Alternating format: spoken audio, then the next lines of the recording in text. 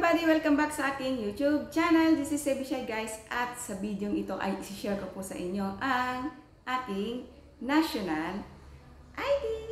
So ito nga guys, dumating na ang aking national ID sa hinabahaba ng aking paghihintay. Sa wakas, dumating na rin. So ang hitsura ng national ID guys ay ganito.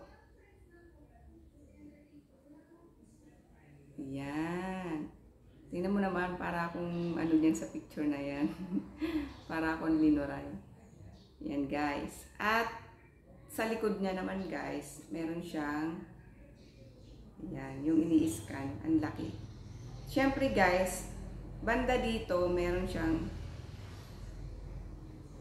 fingerprint natin dito. So, ayan. Yun.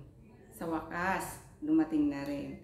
At kayo guys, sa mga wala pang national ID, kumuha na rin po tayo. At sa mga meron ng national ID, naghihintay na lamang po, hintayin nyo na lamang po ang message sa iyong message po sila doon kung dumating na ang inyong national ID, pwede nyo pong kunin or pwedeng i-deliver po yan sa inyo. Yan, natatandaan ko nung kumuha ako ng national ID, hindi po talaga ako pumila dahil hinintay ko po talaga yung kas kasagsagan na nauso yung ano magpa-national ID na ang haba-haba po talaga ng pila nung time na yon pero hindi ako nagpa hindi ako sumabay sa kanila doon. Nung time na yon mga after 3 months pa saka ako nagpa nag, national ID yun walang pila talaga.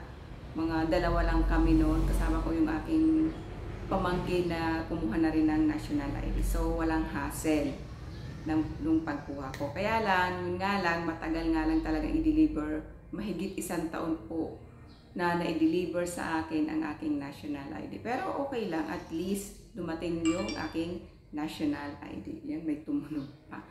So, ayan nga guys. Kung bago ka lang dito sa aking YouTube channel, pakisubscribe na lang po at pakihit na rin po ang notification bell para po palagi po tayong updated every time na gagawa po tayo ng mga panibagong videos. Sa mga bago naman po sa aking channel, meron po tayong tutorial dyan. May mga product review din po tayo sa aking channel. So, ayan guys. Salamat po!